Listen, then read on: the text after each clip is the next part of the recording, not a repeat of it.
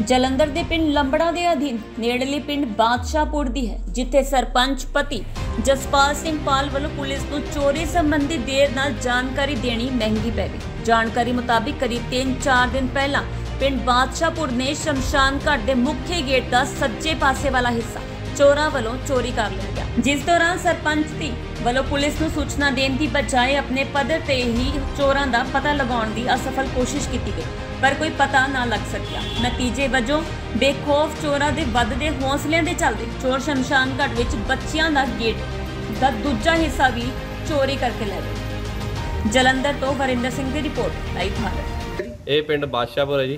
ਤੇ ਜਿਹੜਾ ਬਾਦਸ਼ਾਹ ਪਿੰਡ 'ਚ ਸ਼ਮਸ਼ਾਨ ਘਾਟ ਜਿਹੜੀ ਚੋਰੀ ਹੋਈ ਉਹਦੇ ਬਾਰੇ?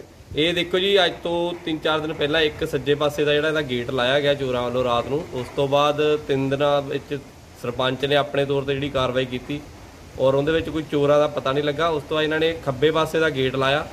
ਕਿਹਨਾਂ ਨੇ ਲਾਇਆ ਜੀ? ਚੋਰਾਂ ਨੇ। ਤੇ ਹੁਣ ਪੁਲਿਸ ਕੰਪਲੇਂਟ ਪਾਈ ਆ ਇਹਦੇ ਉੱਤੇ ਕੋਈ ਕਾਰਵਾਈ ਨਹੀਂ ਕੀਤੀ ਜਾ ਰਹੀ। ਦੂਸਰਾ ਇਹ ਆ ਵੀ ਇਹ ਜਿਹੜਾ ਸ਼ਮਸ਼ਾਨ ਘਾਟ ਆ ਨਸ਼ੇੜੀਆਂ ਨੇ ਇਹਨੂੰ ਆਪਣਾ ਅੱਡਾ ਬਣਾ ਲਿਆ ਹੋਇਆ ਇੱਥੇ। ਔਰ ਇੱਥੇ ਉਹ ਆਪਣੇ ਨਸ਼ੇ ਕਰਦੇ ਆ ਕੇ ਪੁਲਿਸ ਦਾ ਕੋਈ ਇੱਥੇ ਗੇੜਾ ਹੈ ਨਹੀਂ।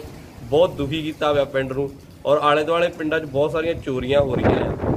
ਜਿੰਦੇ ਕਰਕੇ ਲੋਕੀ ਬਹੁਤ ਪਰੇਸ਼ਾਨ ਆ ਰਾਤ ਨੂੰ ਕਿਸੇ ਚਪੇੜ ਮਾਰ ਕੇ ਫੋਨ ਖੋਹ ਲੈਂਦੇ ਆ ਕਦੀ ਕੁਝ ਖੋਹ ਲੈਂਦੇ ਆ ਉਹਨਾਂ ਕੋਲੋਂ। ਥਾਣਾ ਕਿਹੜਾ ਲੱਗਦਾ ਜੀ ਤੁਹਾਨੂੰ? ਥਾਣਾ ਲਾਂਬੜਾ ਲੱਗਦਾ ਜੀ। ਤੇ ਕੋਈ ਲੰਬੜਾ ਪੁਲਿਸ ਨੇ ਇੱਥੇ ਕੋਈ ਗਸ਼ਤ ਵਗੈਰਾ ਕੀਤੀ ਆਉਣ ਦੇ ਨਹੀਂ ਮੌਕਾ ਨਹੀਂ ਦੇਖਿਆ? ਮਤਲਬ ਹੀ ਨਹੀਂ ਕੋਈ ਜੀ ਇੱਥੇ ਉਹਨਾਂ ਦਾ ਆਉਣ ਦਾ। ਉਹ ਕਹਿੰਦੇ ਜੀ ਸਾਡੇ ਕੋਲ ਤਾਂ ਸਟਾਫ ਦੀ ਕਮੀ ਆ ਸਾਡੇ ਕੋਲ ਤਾਂ ਬੰਦੇ ਹੈ ਨਹੀਂਗੇ ਠੀਕ ਹੈ ਜੀ।